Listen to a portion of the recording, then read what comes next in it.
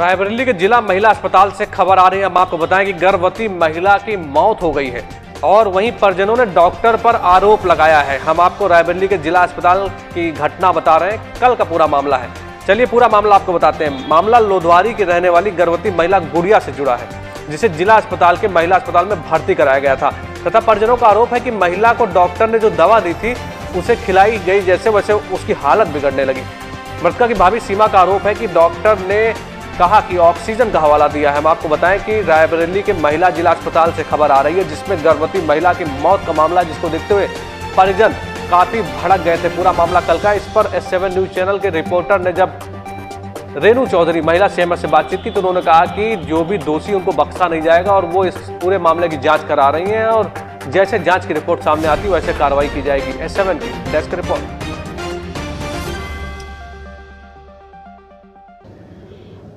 कल शाम की साढ़े सात आठ बजे की घटना है।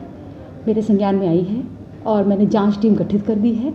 जाँच की रिपोर्ट जो भी आएगी उसके आगे मैं जो भी कार्रवाई होगी दोषी के दोषी होगा तो कार्रवाई कर दूँगी। जाँच टीम आपको रिपोर्ट कितने दिनों में सौंपेगी? मैंने इनसे बहुत जल्दी से जल्दी देने के लिए कहा है।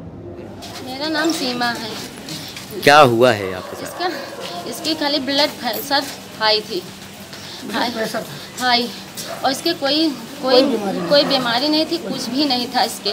इसके कहा कि नहीं इसके जो मैंने फ़ोन किया है तो से कहा मैं ठीक हूँ भाभी यहाँ मत आओ मैं ठीक हूँ।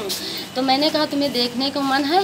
मैं आ रही हूँ। तो कहा यहाँ मत आओ। इन्हें अस्पताल में दवा दिया है। कहा कि नहीं दस दस मिनट की दवा है दवा खा खिलाओगे ये भी और सिला दो। और भी ठीक हो जाएगी। दस दस मिनट मैंने दवा खिलाया जिसने दवा द- एक पहले भी खिलाया इसके थोड़ा फिचकुन निकला। फिचकुन निकला तो हमने सोचा है कि नहीं और दवा खिलाने से इसके हालत सही हो जाएगी। तो मैंने दवा दस दस मिनट बाद फिर खिलाया दवा। दवा खिलाया तो दवा खिलाने के बाद में इसकी हालत बहुत बिगड़ते गई। हवा हालत बिगड़ते गए तो मैंने वहाँ से मुंशीगंज से यहाँ पे लाया। यहाँ भी अपने हाथ से मरीज़ उतर के दो पहिया की गाड़ी से आया था। गेट के पास, गेट से यहाँ अंदर गया। डॉक्टर के पास, डॉक्टर के पास से मरीज़ को बोला है, इंजेक्शन लगाया। इंजेक्शन लगा के कहा, बड़े हॉस्पिटल डॉक्टर के पास ले जाओ। बड़े डॉक्टर ने हाथ नहीं लगाया। हाथ लगाने के बाद में इंजेक्शन एक लगाया, कहा, लखनऊ ले जाए मेरे पास ऑक्सीजन नहीं है। मैंने कहा, दस हज़ार रुपया ले लो।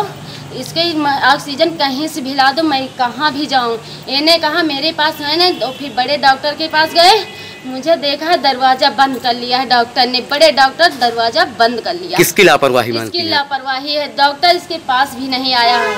बड़ा डॉक्टर मेरे मरीज़ के देखने तक नहीं आया है। लापरवाही किसकी मान रही हैं आप? डॉक्टर की मान रहे हैं लापरवाही। डॉक्टर किसकी? लापरवाही है। आप सबके निवेदन मुझे न्याय चाहिए।